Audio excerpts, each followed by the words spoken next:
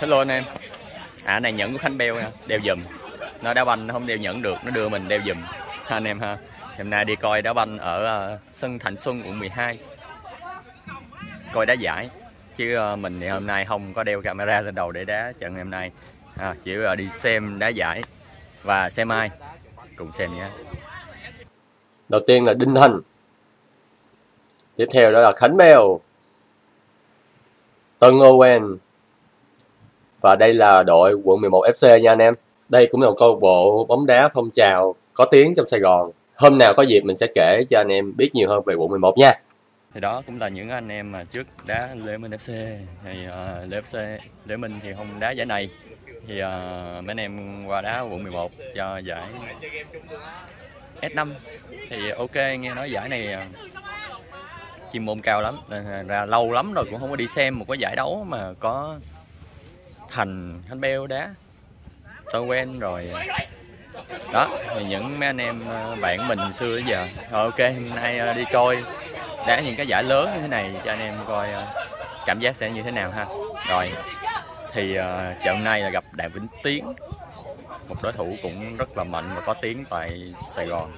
Ok thì uh, cứ xem đi. Rồi uh, có gì sẽ còn kể thêm cho anh em cùng biết nha. Quận 11 đang hợp chiến thuật nha anh em. À trái banh này nhìn quen quá ta. Hình như nhà mình có một trái. Đây quả bóng đó đây. Quả bóng Bravo Futsal Ball được sản xuất bởi Keep được chứng nhận ISO 9001 2015 nha anh em. Một quả bóng màu trắng cam khá là bắt mắt, khá là đẹp luôn. Và đây là quả banh futsal size 4 nha anh em. Dùng để thi đấu sân cỏ tạo 5 người hoặc là sân trong nhà cũng được. Đó, đẹp không? Quả đã luôn. Được sản xuất bởi ờ, thương hiệu Keep còn đây là đội Đạt Vĩnh Tiến. Có một số cầu mình cũng quen như là Tuấn Vinh, Phúc Lũi, Mẹ Sĩ Thịnh, Vũ Thắng. Nói chung cũng là mấy ông đá phong trào có tiếng trong Sài Gòn. Nam Neymar đi đầu. Hậu. Đức Ronaldo. Ủa bằng gì ở tay à Đức? À nhớ rồi. Đức nó bị ờ, đau tay. Đó, Đinh Thành. Tân Owen Thánh Bè Quý Lợi. Ok. Bên kia Đạt Minh Tiến. Đứng đây hơi xa. Biết ai đã trước? Khánh bèo phan vũ. Sao à? Tội sao à? Hello. Tối này tối nhậu à này em cũng cộng 12 lon thôi. Đô nửa thùng. Ờ đô nửa thùng. Dạ. Đi nhậu là chính chứ đi đá là phụ rồi đúng không? Lâu lâu mới được lên sàn diễn mọi người coi em diễn mọi người tiktok của em là à, em chia sẻ tiktok em luôn đi. tiktok của em là phan vũ cho mọi người cái gì theo dõi ủng hộ ok ok. Ok ok. Đây tổ 1 Đinh Thành, Vương Phạm, Nam Neymar và Duo Anh Duy.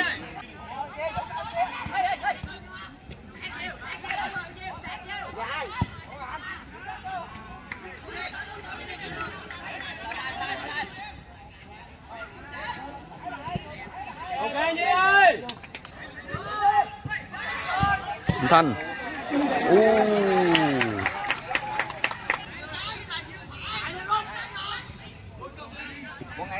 Giờ là anh Duy. Bảo vệ bóng rất chắc chắn. Hai ba cầu thủ kẹp Vẫn có thể kéo bóng qua được. Và giờ Phan Vũ. Dứt điểm. Dứt điểm không chính xác của anh Duy. Đinh Thành ra. Đội quận 11 thay tổ. Giờ là tổ 2 của quận 11 Gồm Phan Văn Vũ Công Hải Đức Ronaldo Và Công Đỗ. Một bàn nguy hiểm quá sao.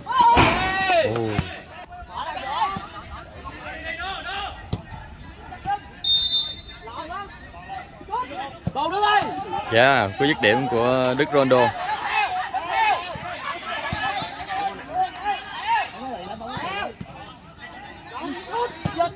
Oh.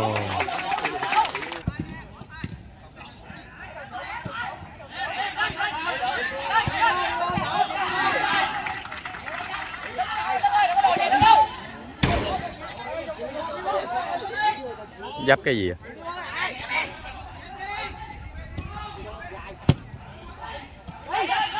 Hay quá Pha giật gót của Đức Rondo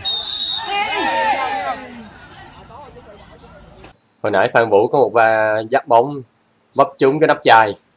Giờ thì đã được ném ra khỏi sân rồi. Chà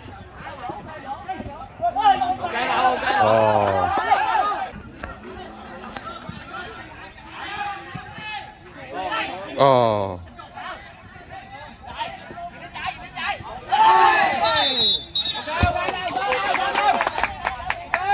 Sẵn chia sẻ cho anh em biết luôn tại sao pha này uh, Nam Neymar vương phạm chùi bóng thì không có phạm lỗi. Cái chùi bóng trong sân futsal bây giờ là được uh, tính là hợp lệ rồi. Chùi bóng, cắt đường truyền hoặc là chùi bóng không làm ảnh hưởng đến đối thủ thì sẽ vẫn được xem là hợp lệ nha anh em. Còn nếu mà chùi bóng, trúng banh mà trúng luôn đối thủ thì được xem là gây tình huống nguy hiểm, vẫn phạm lỗi như thường. Thậm chí có thể bị thẻ đỏ luôn nha anh em.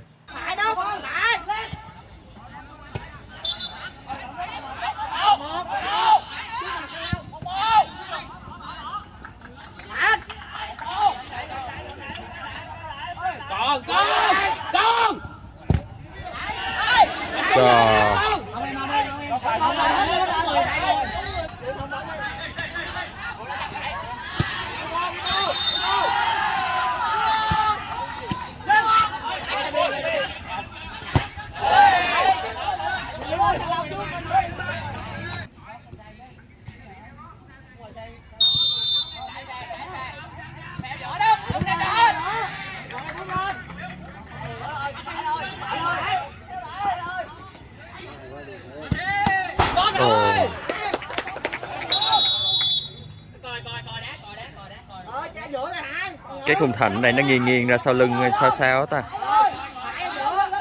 Đúng không? Ừ, nó hơi nghiêng ra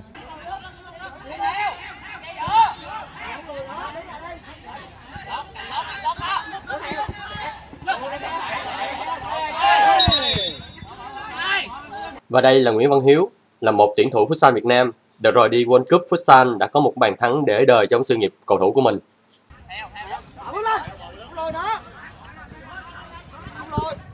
Con ơi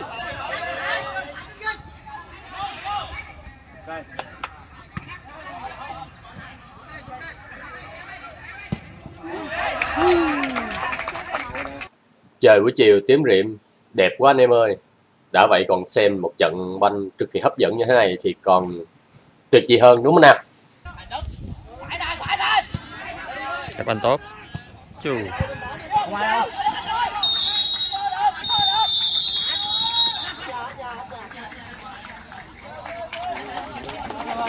Hết giờ Rồi kết thúc hiệp 1 Tỷ số đang là không đều. Đinh Thành với lại Nam Nema thì đá nhiều Còn uh, Tân Owen với lại Khánh beo thì mình chưa thấy vào sân. Hy vọng hiệp 2 là sẽ thấy Khánh beo với Tân Owen vào luôn đá nữa ha.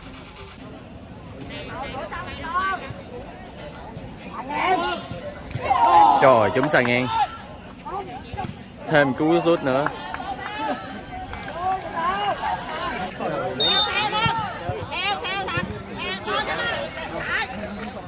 Giáp anh lấy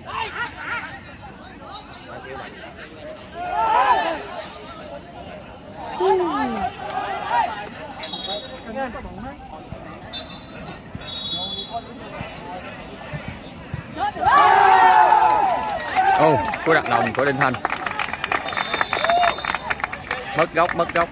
Không sao, không sao. Họ có Nam Neymar nguy hiểm vào một không dành cho quận một FC và đó là pha lập công của Đinh Đức Thành.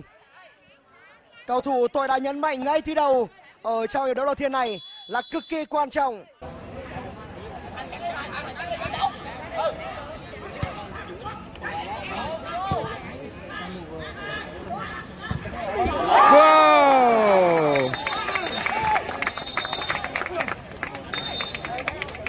Hai bàn của Đinh Thành.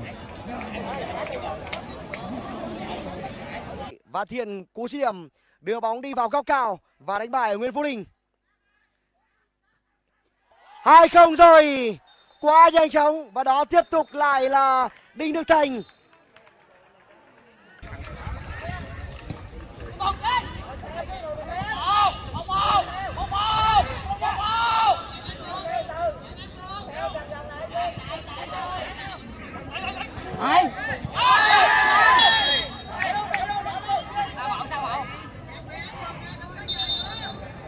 Tình hình là đang đá thì cúp điện. Hay dữ trời. Tổ chức giải đang đá hai trận gì hai bên, cúp điện. Giờ chờ ờ, có điện đá tiếp. Tôi thui tôi lùi luôn. Còn mỗi căng tin là có ánh sáng thôi. Trong sân là tối thui. Có điện lại rồi.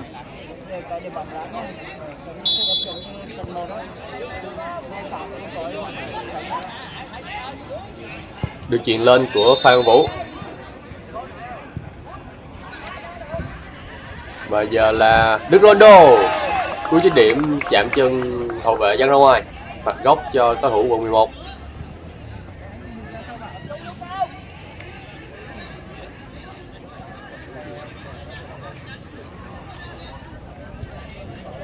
Wow, bàn của Đức Ronaldo. Ba trái. Sao? Ăn mừng giống ngoài anh Gia Lai quá. Lê Ngô vô địch. Mùa giải năm nay thì tất nhiên 3-0 cho cao thủ quận một FC. Quá trong vánh. Đó là pha lập công của Nguyễn Minh Đức. Sau khi coi chiếu chậm lại thì đây là một pha phản lưới nhà của cầu thủ số 4 đội bạn nha anh em.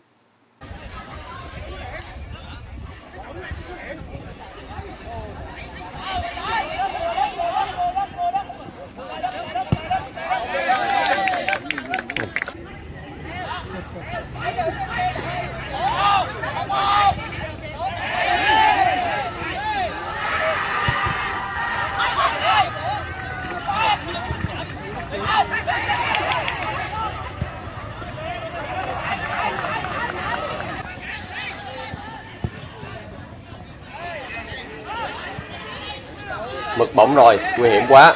3 đến 2. Nam Neymar đang nuôi về, slide. Và vẫn có bàn thắng cho cầu thủ Đạt được Tiến.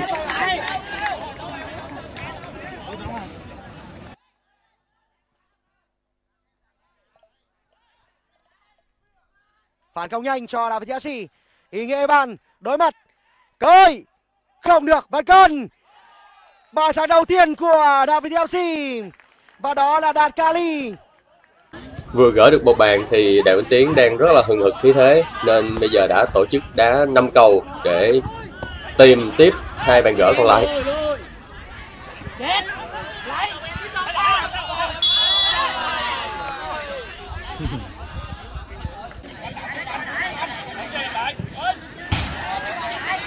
Số 6 này là Hạnh Ozil, một cầu thủ chuyên nghiệp và cũng là chủ cái sân đang diễn ra giải đấu này.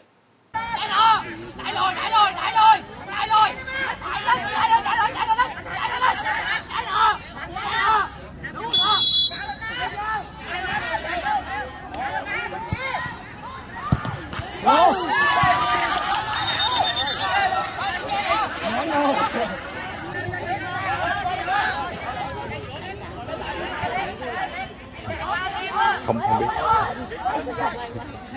Không kịp, không kịp coi. Yeah.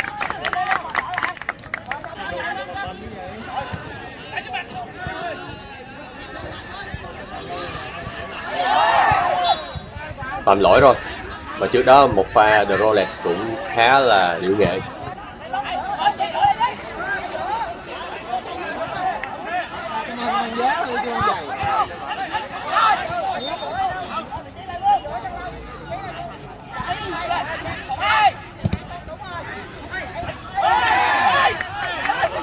Phút rưỡi đã có một pha đạp lên chân của Sang Long, nhưng tác động là khá nhẹ, chưa đủ để trọng tài phạt lỗi trong tình huống vừa rồi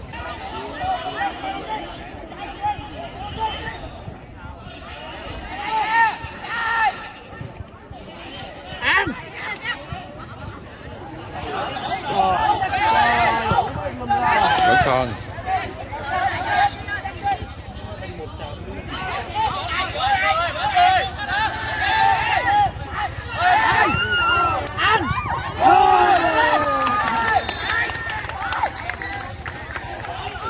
Mọi người đang tranh cãi với trọng tài rằng là có pha phạm lỗi của Phúc Lũi với lại cầu thủ số 8 áo trắng hay không. Thì đó là một pha tiểu xảo khá kín của Phúc Lũi và bàn thắng cũng đã diễn ra. Tranh cãi lúc này cũng không giải quyết được vấn đề gì.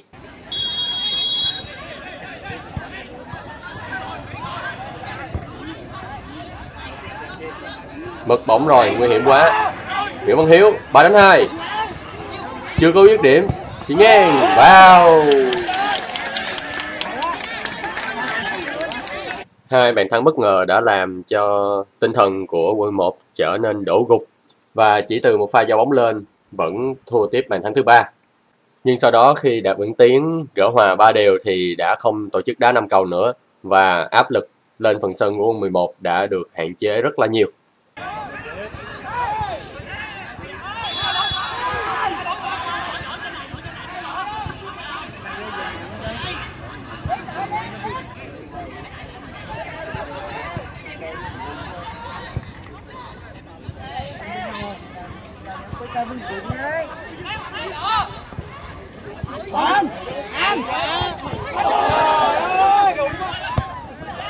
Và pha bóng lên cuối cùng là của Đức Ronaldo.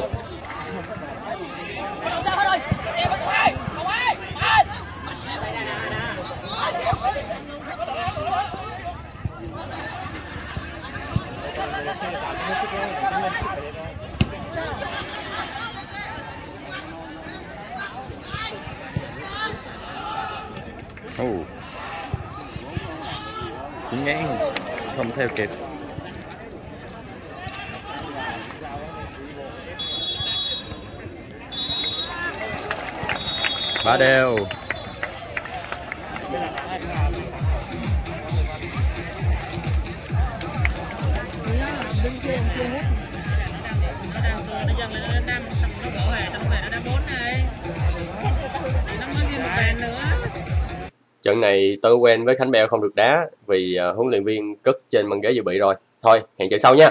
Với cú đúp bàn thắng thì Đinh Đức Thành được trao giải cầu thủ xuất sắc nhất trận đấu và nhận một đôi giày của ban tổ chức giải S5 Sài Gòn Kid and Black nha. xa xôi phía kia trời chụp chung với lại hai cô gái đẹp vậy thì uh, kết thúc trận đấu tỷ số là 3 đều quân 11 gác 3 không trước và Đại Minh Tiến đá năm gỡ lại ba đều và những phút cuối trận thì uh, hai đội đá cả sàn sàn hết giờ. Ở trong ba trái của quân 11 thì có hai quả của Đinh Thanh. Đó thấy không?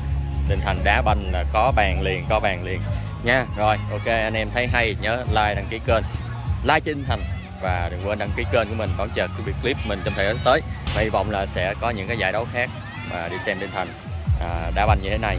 Thì đây là một cái trận vòng bảng của đội của mấy anh em ờ, Đinh Thành Khánh Beo là đang đá cho quận 11 FC đá vòng vòng bảng thôi còn đá hai trận nữa. Thì à, không biết là mình có quay chiếu được hai trận đó hay không. Nếu có thì anh em xem nha. Còn nếu không có thì ok. Hẹn ở những giải đấu khác. Bye bye.